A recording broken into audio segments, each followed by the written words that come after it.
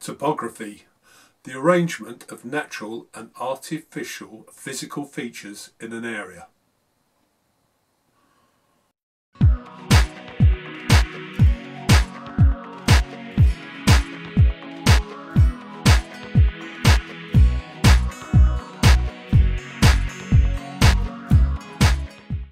Hi, welcome back to Halton Warren OO9. I'm Mark.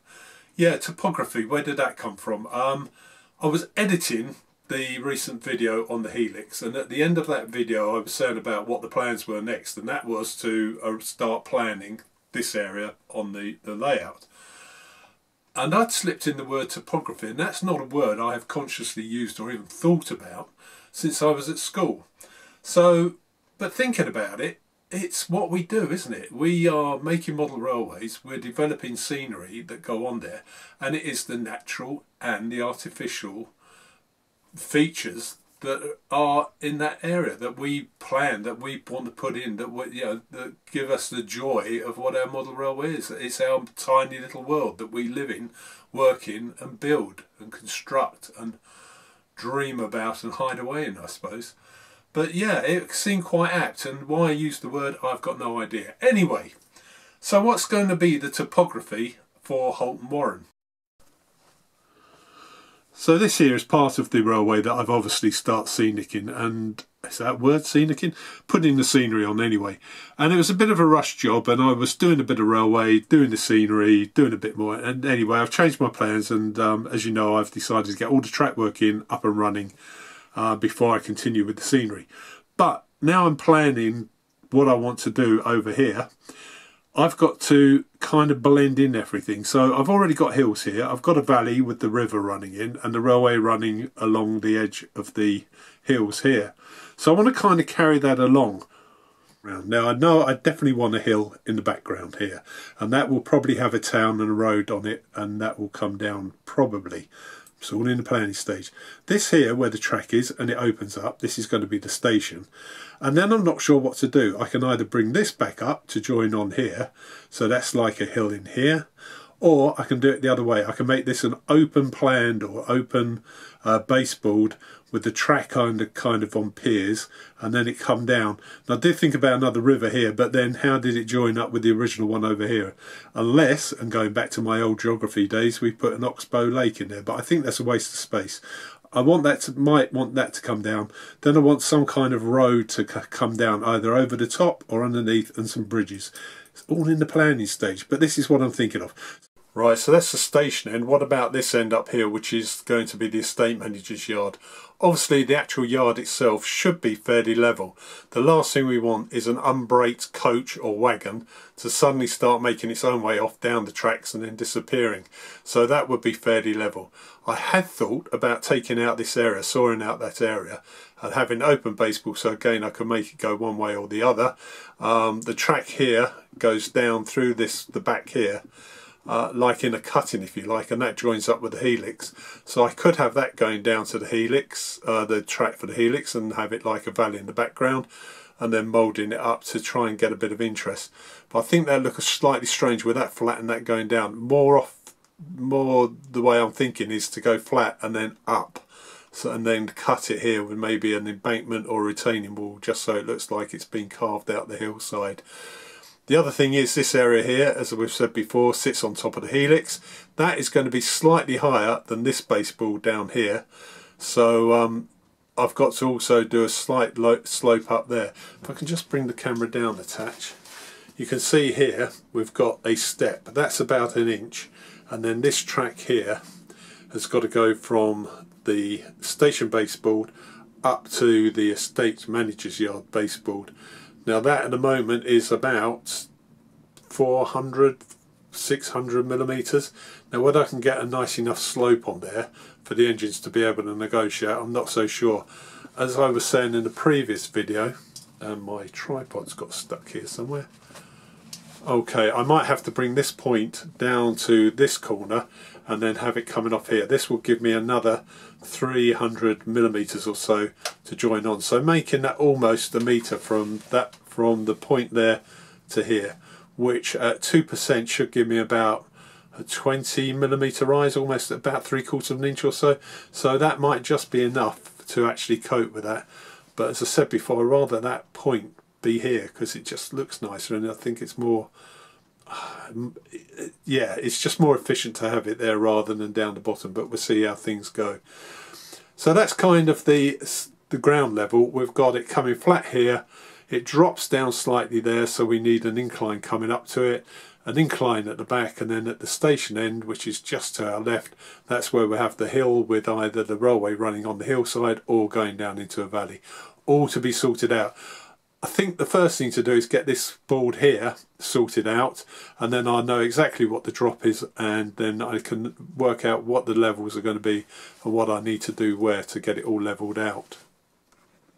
Right, artificial physical features, the track, which is probably the main item on here. So the track comes will be coming out through this cutting. It will follow this line through and then into the station where it splits into this passing loop. Now my plan is not to have two platforms but only one platform. Um, as I said in a previous video, the idea is is one train will come in and it might be an hour or two hours later when another train comes into the platform. So if there's only one train in a plat in the station at any one time, why go to the expense of doing two platforms in supposed real life? So this line here is just a passing loop. So I can bring in a passenger train and then if there's a goods train coming from the other direction, he can pull around and go off or he can wait there until the passenger train arrives. Just adds a bit more interest. Okay, so once the passengers have offloaded, they come through here. Um, the rails join again by that um, point. Then the second point splits them out again and they can either go off down to the helix or this is uh, Halton St Barnabas which is a going to be a hidden siding anyway just for again more operational interest. Now I've done the points this way instead of putting one here so you get one line there and one line here with a crossover because I want the train from here to be able to come in and go onto that line or that line and I want the one from here to be able to come out and go on that one and that one and by putting that point here this wouldn't have worked.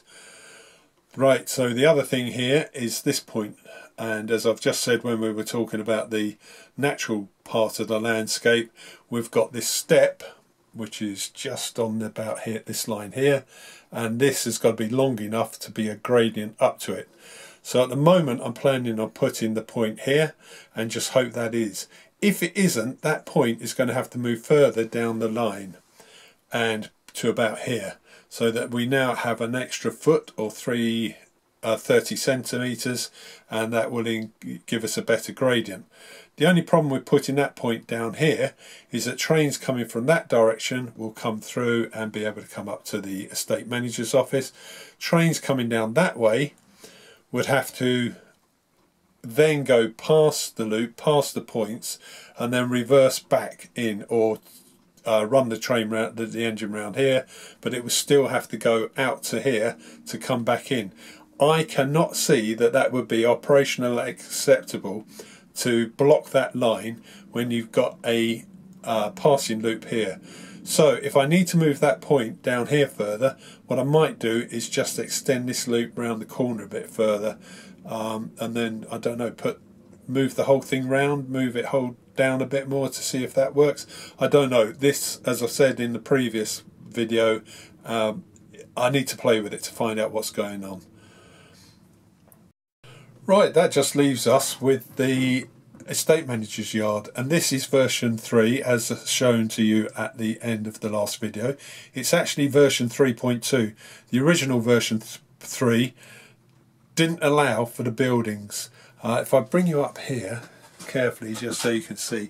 This is a mock-up of the engine, uh, the engineering shed for the carriages.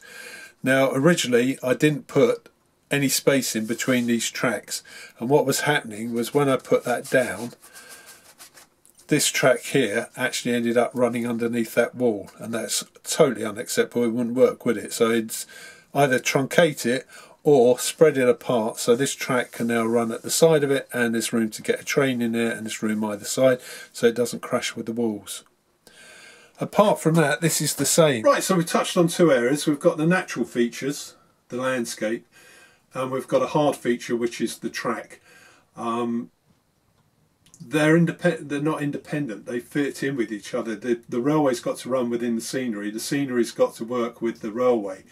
Um, people all the time say it's got to be the railway looks like it was put into the scenery rather than the scenery around there. So we've got to get that balance right. And um, the other balance we've got to get right is any buildings we're going to put in, um, are they going to work? Are they going to look right? Are they going to be functional for the environment that they're in and the people that live in the area? Are they going to like the estate manager's yard? Have we got the right buildings? Are they going to form the functions that the estate and the railway need? It's model railways. A lot of people, and the wife included, she started off. She's changing her mind now, but people think of a model railway as being a train set. You know, stuck on a board, just playing with trains. But it's not. When you look at it, what we get out of it and what we put into it, we've got topography, which is my new favourite word. We've got town planning. You know, what buildings can go where? Will they fit in? What's the access going to be like to them? Do they need services like water, gas, electricity? Was those services available in a village in the 1920s? There's so much to put into this and so much to work around. Um, it is a vast subject, and you've got all the research to do as well. Um, no wonder we get so involved in it. It could take over our lives if we let it, or if the wives let us. Anyway, getting back to the buildings, I want to do buildings that I found on journeys and trips and holidays, maybe seen in books. Um, there is one building that I saw in a film, and I managed to get a screenshot of that. So I've got an idea of the sort of buildings I want. The architecture I've already said down in um, the estate manager's yard is that Victorian brick industrial revolution look and um, I've found some nice uh, buildings I can do that with. The village is the same. It's been there for years. There could, there's buildings that could be two, three hundred years old. There's buildings that might be ten years old. But for ten years in my time, that's the 1910s and the 1920s. So you're looking at buildings the how they're going to fit in. How were they connected to the building next door if the building next door is like 50, 100 years older? So the way I want to do it is that I've taken those ideas that I found in books and films and stuff, and I've started using a CAD program. And I say start using a CAD program. Um, I've made a bit of progress. I had that three or four months where I couldn't face coming into the shed, let alone doing any work on the railway. But I wasn't idle. I wasn't just sitting at home. I was still working on railway model related stuff. So I've used this CAD program and I think it's called LibreCAD. My memory for names is terrible. I won't go into LibreCAD because there is a bloke called James who has got a channel and it's Bexhill West and I will put a link or the the, the, the details of his videos there but he did four or five videos that went through LibreCAD and how it works and it's brilliant um, I got into that and start using it and learning it and then Michael at Chandwell has started using um, Inkscape, is it that free software, and he gets brilliant, absolutely wonderful results from that. But I've already started planning my a lot of my buildings using LibreCAD, so I'm going to continue that. But with LibreCAD, I've done the the building plans, then I've printed them onto sticky labels, and where Michael at Chandwell seems to uh, favour Weetabix, I've used cornflake boxes. So I've made up mocks of the buildings. Um, this one's actually a butcher shop in Leighton Buzzard, which isn't too far away from here. And then I've got other ones. This one was a, I don't know where that one was from, but uh, again, it's another one I found that I like. And there's another one here, which is another shop in Leighton Buzzard. But as you can see, they're all different heights. And the idea is that if you do mock-ups of them, you can then place them on the layout decide how they fit together, how they work, you know, do they look right together? You can move them around, you can have them in a line, you can bend them into shape, you can then work out where your roads are going to go, how far back they're going to go, are you going to have room for details at the back, at the front, it's a minefield, as I said, town planning. So that for me is the next stage as well, is to work out where my models are going to go. Also, for the um, estate managers area, I've done a mock-up of the shed that I want to use. This is the office building that I'm going to do in the corner with some small workshops. Um, this one was actually based on Gladstone pottery, I think, and it was in Gladstone pottery. It's actually at 90 degrees, but I've splayed it apart. Oh, it's a U-shaped building. I splayed it apart to fit in the corner. So it's things like that. So I can play with these, I can move them around, I can make sure they're going to fit in and what room I've got. And then, as I say, from there I can then work out the access points, you know, where the roads are going to run, where do I need bridges, you know, will, will it work or will it end up kind of being squashed together? So, um, yeah, planning a model railway is not easy. You can do it scribbling on a piece of paper, which is I started out doing. I've got a nice little sketch of what I wanted to do, which was four years ago, five years ago, even probably longer than that. And it's developed so much from there. So, yeah, we've got um, the hobby's huge. It really is huge. So, um, yeah, I think I've got enough to be getting on with. So I'm going to wind this up because I've done a lot of waffling in it, but you've seen my thought process on how I want to plan it so that everything comes together so it looks like it belongs. It, these days you must have driven around, you see a new housing estate, it's plonked in the middle of nowhere, it looks so wrong. You drive into a village and it fits, you know, or an old town and the different bits of history fit together and the railway fits in and the roads fit in and the people fit in and that's what I'm aiming for. Quick break there, I thought the missus was outside but um, I think it was a bird scurrying across the roof rather than her outside. Anyway, she's not there. Right, so I'm going to wind it up there.